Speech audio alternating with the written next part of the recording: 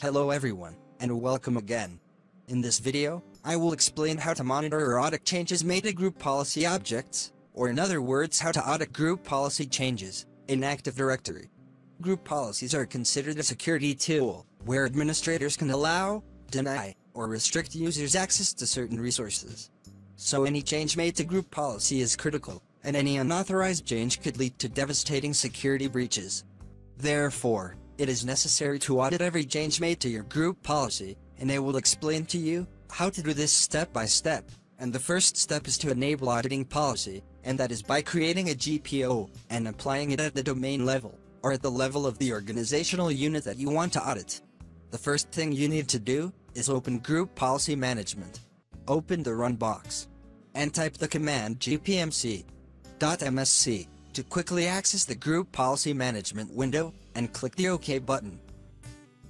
As I told you, you can create an audit policy on group policy objects at the domain level as a whole, or at the level of a specific organizational unit. I will audit at the domain level as a whole, which is definitely better. So right-click on the domain, and select Create a GPO in this domain, and link it here. In the new GPO window, give the group policy object an appropriate name, so that you can access it at any time, then, click on the OK button. After that, right-click on GPO that was just created, and select Edit. This will open Group Policy Management Editor window, so you can make modifications to the group policy object. After that, from the left pane, navigate and open the path that appears in front of you on the screen, and I will leave the path for you in the description of the video.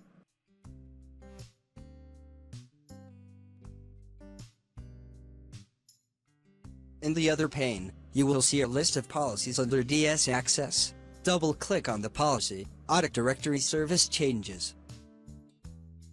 After that check the box, labeled Configure the following audit events. And also check the boxes, Success, and Failure. Then, click on the Apply button, and OK. Then select the path shown in front of you, on the screen. And I will leave you the path in the video description. It is the same path, but select Object Access. In the other pane, you will see a list of policies. Under Object Access, double-click on the policy, Audit File System. After that check the box, labeled Configure the following audit events. And also check the boxes, Success, and Failure. Then, click on the Apply button, and OK. Close Group Policy Management Editor window, and also Group Policy Management.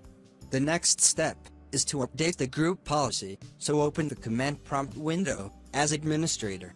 Then type the command that appears in front of you on the screen. To update the group policy. This is considered the first step that I called Enable Auditing Policy. I will move to the next step, which is Configure Audit Settings, in which I will specify the types of changes that are made to the group policy objects that these will be audited, such as creation, deletion, modification, or permission changes.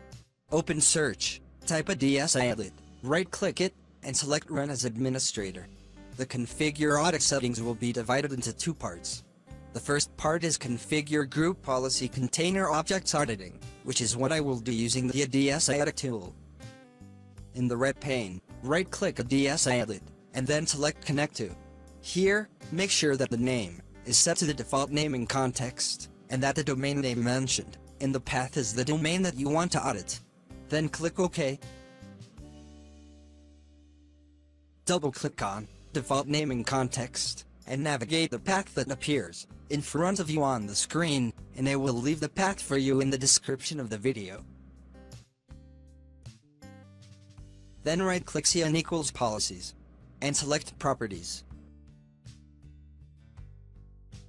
Then click on the Security tab, and then, at the bottom click on the Advanced button. Then, click on the Auditing tab, and then, click on the Add button. Then, click on Select Principal from the top. And in the name field, type Everyone. Then, click on the OK button.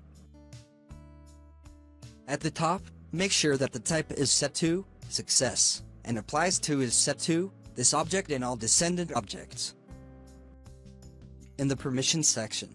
Scroll down and look for create group policy container objects, and delete group policy container objects, and check their boxes, then click the OK button. Then click on the Apply button, then OK then OK, and you can close the ADSI Edit window, and this is the first part of Configure Audit Settings, while the second part is Audit the sysvol folder. All group policy files are stored in the sysvol folder of the domain controller, so to audit the changes made to the group policy object, you need to audit this folder, and the sysvol folder can be opened through the path shown in front of you on the screen, and I will leave it to you sysvol folder path in the video description. After opening the folder path, right-click on the Policies folder and select Properties. After that click on the Security tab, then click on the Advanced button. Then select the Auditing tab and click the Add button.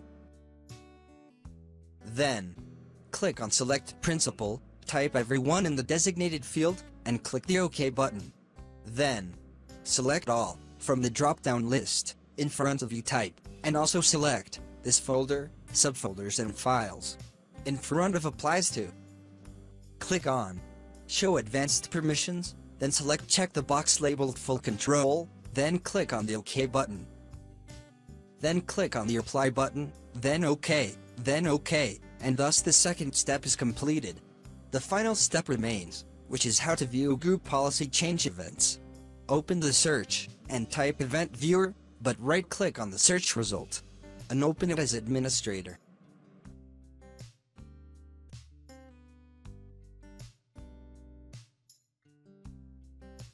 In the Event Viewer window, in the left pane, navigate to Windows Logs, then click on Security.